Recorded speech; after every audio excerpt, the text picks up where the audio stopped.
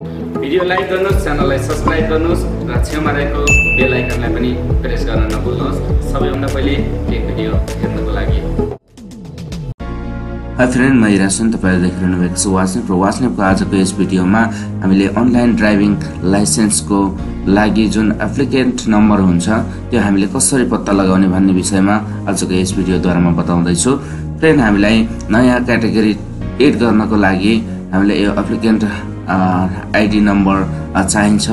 र यस्तै हामीले निकालेको लाइसेन्सको डिटेल्स हेर्न एप्लिकेन्ट नम्बर हेर्न अथवा अरू सबै डिटेल्सहरू हेर्नको लागि हामीले यसलाई कसरी हेर्न सक्छौँ भन्ने विषयमा आजको यस भिडियो बनाउन गइरहेको छु। फ्रेन्ड मलाई फलो गर्नुहोस् र भिडियो मन परेमा लाइक गर्न सक्नुहुन्छ। र हामी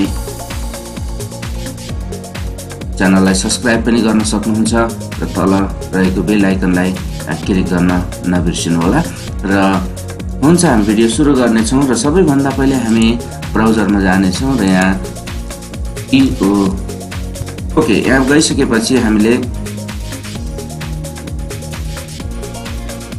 सुन्नेछौँ कि यहाँ अनलाइन सवारी चालक अनुमति पत्र प्रणाली भनेर हामी क्लिक गर्नेछौँ। ओके यति क्लिक गरिसकेपछि हामीले यहाँ अनलाइन ड्राइभिङ लाइसेन्समा हामी क्लिक गर्नेछौँ र यहाँ गइपुगिसकेपछि हामी चेक स्टेटसमा जानेछौँ। यहाँ क्लिक गर्नेछौँ र यहाँ रेफरेन्स नम्बर भनेर छ अनि यहाँनिर ड्राइभिङ यहाँनिर लाइसेन्स नम्बर भनेर छ। हामीसँग अलरेडी लाइसेन्स हुन्छ अथवा लाइसेन्स नम्बर हुन्छ अनि हामीले यसरी हेर्न सक्छौँ। ओके हामी यहाँनिर लाइसेन्स नम्बरमा हामी क्लिक गरेका छौँ। हामीसँग लाइसेन्स छ र हामी एप्लिकेन्ट नम्बर चाहिएको छ। त्यस कारणले हामीले यहाँ क्लिक गऱ्यौँ र अब हामीले यहाँ लाइसेन्स नम्बर राख्न सक्छौँ।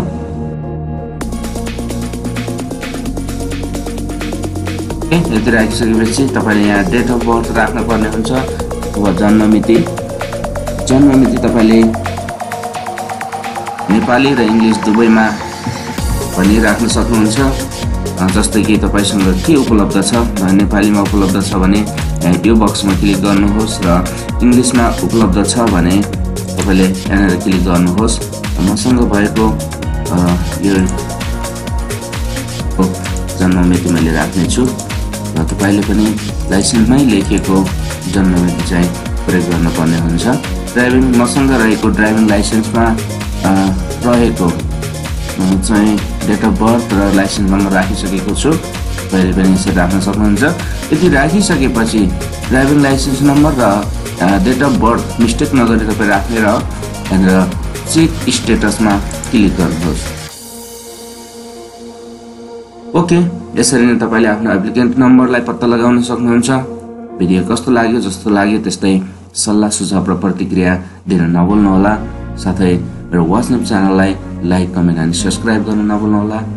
साथमा रहेको बेल आइकनलाई पनि प्रेस गर्न नभुल्नुहोला। धन्यवाद।